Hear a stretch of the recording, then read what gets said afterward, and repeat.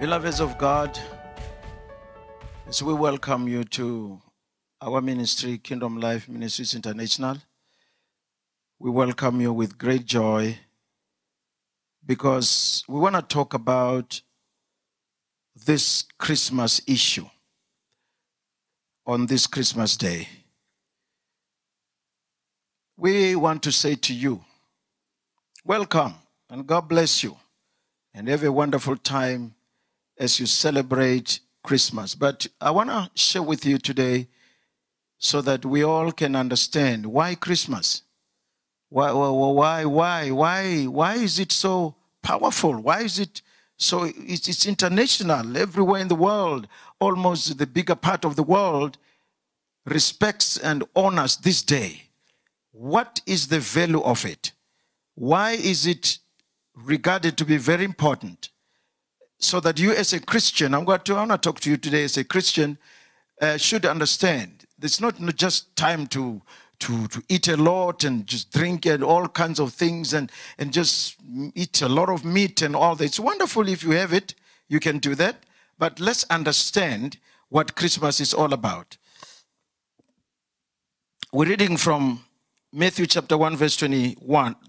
The Bible says, This was God talking to Joseph he said, and she shall, that's Mary, the, wife, the, the, the, the girl who was supposed to be married by, by Joseph. He said, she shall bring forth a son, and thou, that's Joseph, shalt call his name Jesus. Why? For he shall save his people from their sins. Now, ladies and gentlemen, um, the name Jesus in Hebrew is Yeshua. So the Bible says, um, John, Joseph, your wife is going to give birth to a son. Give him the name Jesus. That's in the New Testament. If it was written in the Old Testament, it would say, give him the name Yeshua. Yeshua Amashia. Yeshua Amashia. Now, that's how Jesus was called. Um, but now it is said Jesus the, uh, has come to save because the name Joshua means savior. So Jesus, the Bible says, has come to save his people. Ladies and gentlemen, Revelation 4:11 says, "All the creation of the world, God created it for his, his own pleasure." So man was created for God's pleasure. In other words, man was created so that God can enjoy man can enjoy men when men is serving God and worshiping God and praising God and living for God and living according to the will of God and the purpose of God and the intents of God. All right? That was the idea in Genesis 1:26 when Jesus when God said, "Let's create men in our own image who will be like us." and who, who, will resemble us. All right? So we were created to be like that. But let's read First John 5 19.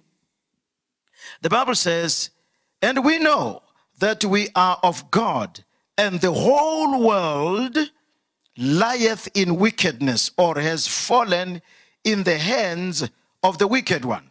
The whole world. Now, ladies and gentlemen, there is nowhere in the world where there are no sinners. There's no place in the world, whether it be in an island or the, a very big country like the US or Russia or so on, they are, they, they, they are everywhere. They are sinners. Why? Because the Bible says the whole world has fallen into the hands of the wicked one. When did that happen? When when Adam when Adam fell into the hands of Satan through deception, he fell with us, with the world. So we, we, we were born and we grew and, and, and, and, and, and we became whatever whilst we were in the world, which was in the control of Satan. And that control, Satan was given by Adam. And Adam was given that control by God. God gave him a control in, in Genesis 1:27 says God let's create man and man must, must, be blessed and as he's blessed we give him dominion in verse 28 he says well, let's let him have dominion so we God's idea was that we, we, we never should be under ourselves or under anything or not even the devil, the worst of it. But here it happened. Adam was deceived and he fell and he fell with us into the hands of the devil. So ladies and gentlemen, we, we, we found ourselves, the Bible says we, the world was now in the control of the devil. And we, the world, referring to us people, we could not get ourselves out of that situation where the Jesus said in John 8 34, he says, He that commits sin is a slave of sin. So we were made slaves of sin under the control of the devil. But then Jesus was sent to come do something. That's why we're remembering his coming through Christmas. He had come, Jesus, to save us from that situation. Let's read it from Galatians chapter 1, verse 4. It says, Jesus gave himself for our sins, that he, he Jesus, might deliver us from the present evil world according to the will of God our Father. Now listen, Jesus came and found the world was in the hands of Satan. So he came to deliver us. He came to set us free from the clutches and the slavery that Satan had put us in. Are you hearing this? We are explaining why we Christians all over the world must celebrate Chris- Christmas, which some people say, What is this Christmas about? Why must this day be respected? Why must it be in the calendar? Why and all? But hey, Christians, listen, we got to celebrate the coming of the Savior, we got to celebrate the coming of the deliverer. Now, Jesus came, the Bible says, to deliver us. He came to save us and deliver us and set us free. In John 8 36, the Bible says, He whom the Son of Man sets free is free indeed. So we, we were set free. Now, watch this. After Jesus set us free, He started a thing in Matthew 16 18 called the church. He said, Upon this rock I'll build my church. Now, church, listen. You, the church folks who are born again, not just every guy who walks into a church building some Sunday. No, but you that are born again, washed by the blood of Jesus, and the Holy Spirit stays in your life, confirming in your spirit that you're a son of God. You that are in that situation, the Bible says you are the church. If you are the church, watch this. The Bible says, in that in, in, in Matthew 16, 18, upon this rock I'll build my church, and the gates of hell will not prevail against it. It what? The church. Watch this. So Jesus came not only save us, not only delivered us, but not only gave us dominion again, like I'll, I'll show you, but he he he started a ministry called the church. The church the church, let's read about it in Ephesians chapter 1. This thing called the church, ladies and gentlemen, this thing called the church is not just a thing, it's not just a club, like a club. Uh, Ephesians chapter 1, verses, the last two verses, verse 22 23, it says, And God and hath, that is referring to God the Father, put all things, all things, all things under his feet. Now, the his there refers to Jesus and gave him to be the head over all things to the church. So, Jesus, ladies and gentlemen, he was ordained by his own father to be the head of the church. Jesus did not establish the church and put himself as the leader. No, he waited for his father to make him the head of the church, the bishop of the church, the head of the church. Because the church is his thing, it is his ministry. So it is under him, and he's been given authority by God the Father that this, this church must not just be a thing or a group of people who have put themselves together. It is a leader, and the leader is called Jesus, the Savior, the Deliverer, the Healer, the, the, the, the, the raiser from the dead, the blind eyes opener, and all that. He's everything. So the Bible says he started this church, and God gave Jesus uh, authority over the church. Now listen to verse 23. The Bible says, This church is his body the fullness of him that filleth all things. The church is also called the body of Christ. Now, the Bible says everything has been put under the feet of Jesus. Now, if Jesus is the head, and the, this body is the church, and the feet are on the body. It means uh, that authority that the devil had, which he used to control the whole world, put the whole world into slavery of sin, has been destroyed. That power has been destroyed, and it, it has been transferred to the church. And sometimes the church, you find it, they don't know these things.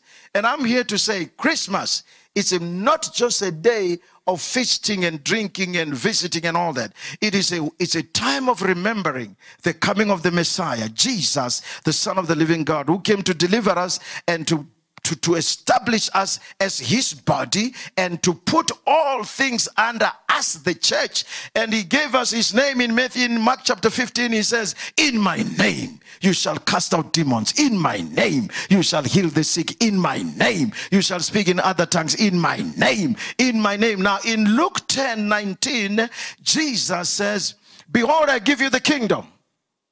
I give you authority Listen to this. I give you authority over all to trample over, of, on the serpents and scorpions. Now, ladies and gentlemen, serpents and scorpions are different types of demons. And then he says, and over all the power of the enemy. So listen, church. Satan has power, but the church has got authority.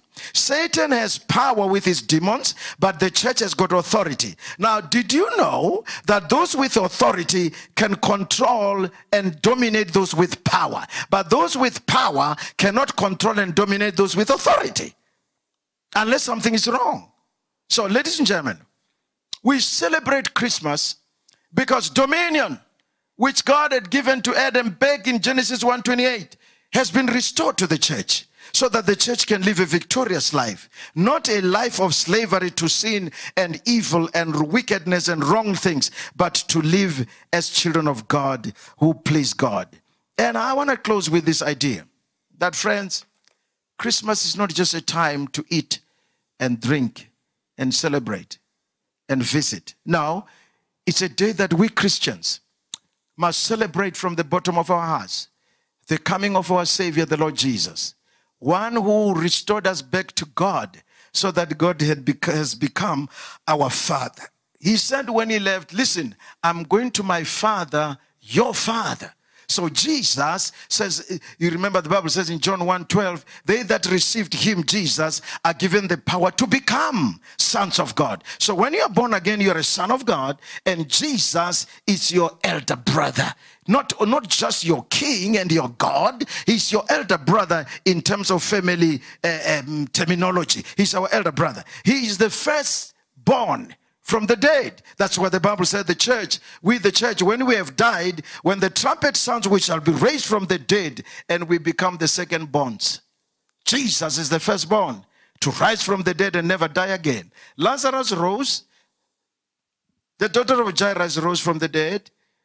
In the Old Testament, Elijah raised that boy that had died, and Elisha did the same, and so on and so on. There are people who were raised from the dead, but they died again. But Jesus was raised never to die again. Amen.